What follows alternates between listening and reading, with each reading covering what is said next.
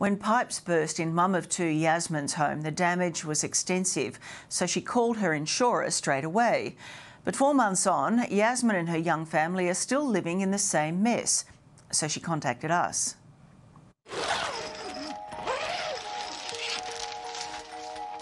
The smell of mould, as soon as you walk up there, you can smell it. It is just horrible. Partitioned by plastic sheeting, holes in the shower. So these are the holes in the tiles from when it first burst, and they've been like this since October. And no ceiling whatsoever. It's just atrocious, really. It's just in such a bad state that you shouldn't be here. Yasmin Thompson has been living in her Albion Park Rail home with her two young children, including baby Hunter and her mother Nirvana, for the last four years. Last October, the pipes burst in the main bathroom. There's not just damage here, it's also damaged the ensuite next door. Yasmin's family contacted their insurer, Real Insurance, to make a claim. The insurer hired a subcontractor, Johns Lyng Group, to make repairs. They discovered more damage and had to remove the ceiling. That was nearly four months ago.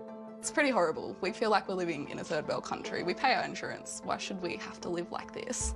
Now there's mould in the bathrooms, which Yasmin claims is having an impact on her mother's health. Mum got bronchitis from sleeping in there because she was unaware of how bad the mould actually was.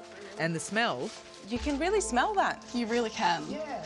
And that's what the sheets are supposedly supposed to protect, is from the mould. But you still can smell it even on a windy day. Yasmin can't understand the hold-up. So where, where are you showering? Outside, all the way out the back. And I have to take the kids outside too.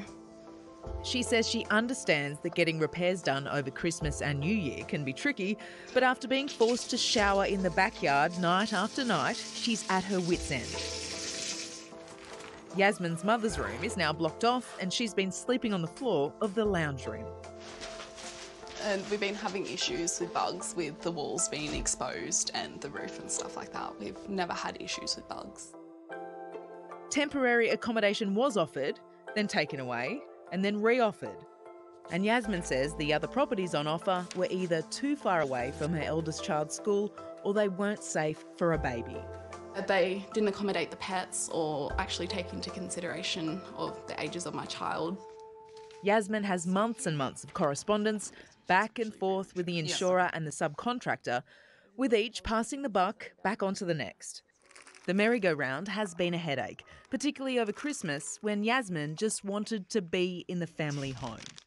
We pay insurance on time, mum pays it all, she's never missed a payment and this is how we're treated. Mum has never made a claim before, but this is how we're going to be treated. When we contacted Real Insurance for a response, they told us we feel for the family and we are striving to do everything we can to fix this. We have been actively working with this customer for some time and will continue to do so to address not only their particular accommodation needs but additional repairs at their home as well. To this end, our approved builder will be on site early next week pending customers' approval. We just want our house back. We want it back to the way it was as soon as possible. We don't want to keep going around in circles. We just want you to fix our house. Can't blame them for that. Good to see some common sense there. You can read the insurer's full statement on our website.